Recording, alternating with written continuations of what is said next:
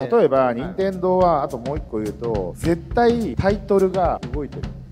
でそれ任天堂の人ってそれを意識してやってるんですか？みたいな話をしたら多分やってないと思う。多分センスでやってるんでしょう。宮本茂さんってゲーム部門のトップの人が必ずチェックをするんだけど彼の感性でやってる。ゲーム業界言うても40年なんですよね。なんでまだ宮本さんとか第一世代のクリエイターが現役なんですよ。ホリエモンチャンネルさん含めて例えば任天堂はあともう一個言うと絶対タイトルが動いてる。タイトルが動いてる例えばだから「スーパーマリオブラザーズ」バーンってあった時に何か絶対動きがある。文字がこう踊ってたり。そう踊ってたりとかっていうのは絶対任天堂のファミコンのソフトっていうのは絶対そういうのがあったんだと。でそれ任天堂の人ってそれを意識してやってるんですかみたいな話をしたら多分やってないと思う。多分センスでやってるんでしょうと。宮本さんとかが最終的に決済をするらしいんですが宮本茂さんってゲーム部門のトップの人が必ずチェックをするんだけど彼の感性でと思う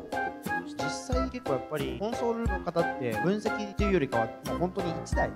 ゲーム業界言うても40年なんですよね。はい。なんでまだ宮本さんとか第一世代のクリエイターが現役なんですよ。そうだよね、はい。だってドラクエのね堀井裕二さんとかね。その層が次に伝えるみたいな時代になってくると言語化をして、まあ、システマティックにしてそういうノウハウ化してみたいなことをやるんだと思うんですよね。まさに今この時代ぐらいがちょうどそういう変化が起き始めてるタイミングなのかなそうなんです。だから、まあ、渡辺さん全部教えてくれなかったけどかなり言語化できてますね。彼の頭の中では。ちょ今度渡辺さんと行きます